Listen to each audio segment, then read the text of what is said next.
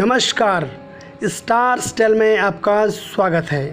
मैं आज बात करूँगा ज्योतिष आधार पर पूर्वानुमान 30 सितंबर 2020 को खेले जाने वाले मैच को लेकर।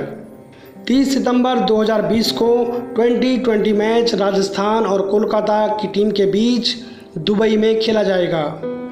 ये मैच भारतीय समय के अनुसार शाम साढ़े सात बजे शुरू होगा। जब ये मैच शुरू होगा तो वैदिक ज्योतिष के अनुसार कुंडली में मेष लग्न होगा। ग्रहों की स्थिति इस प्रकार होगी। लग्नेश लग्न में और चंद्रमा एकादश भाव में गोचर कर रहे होंगे।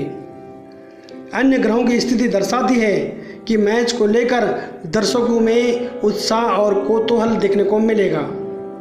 इस श्रृंखला का ये बारहवा मैच है।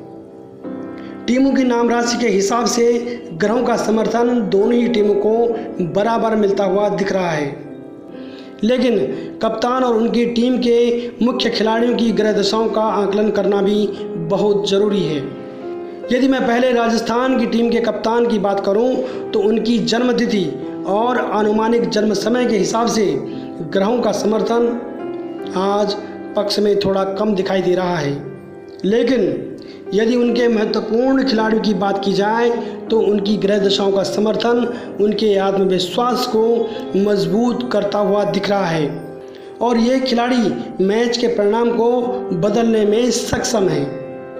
वहीं मैं दूसरी ओर कोलकाता की टीम की बात करूँ तो कोलकाता टीम के कप्तान की जन्मतिथि और उनके अनुमानिक जन्म समय के हिसाब से ग्रहों का समर्थन मुझे मज़बूत दिख रहा है।